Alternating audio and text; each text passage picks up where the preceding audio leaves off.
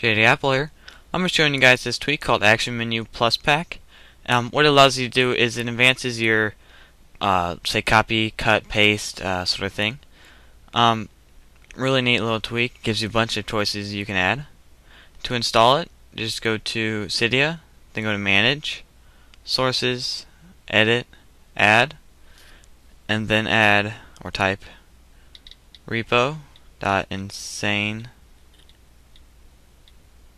lei.com slash. I'll put the name down below too, uh, so you can copy it there.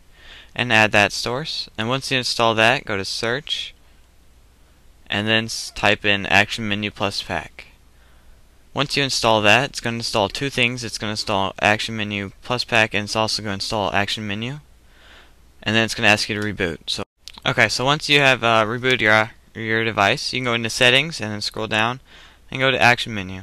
Then you can enable it, turn it off, uh, and then extend support, use icons, and enable a bunch of extra actions you can do. And then you can press more uh, actions and it'll put you to a Safari page and it'll show you more there. So you can go into your notes, for example. And then we're just going to select all this. If I can get it. It's loading. Alright. So we're just going to select all this and say just copy, delete it. And then we have paste. So then now that's normal. And then select we can go here, the little side button. And then we have a bunch of extra choices.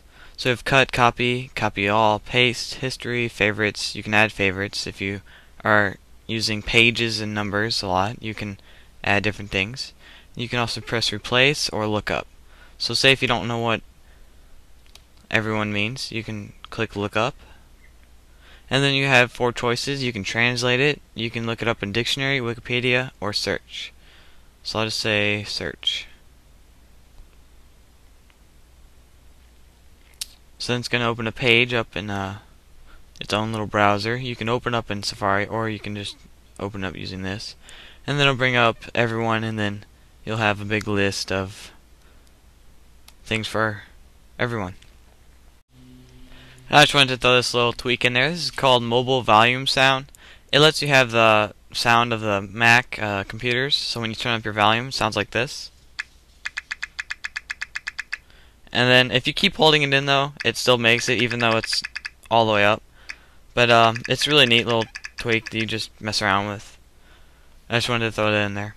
So yeah, if you like this video, please press the like button below and comment on it if you decide to. And then uh, press subscribe up top. Thanks.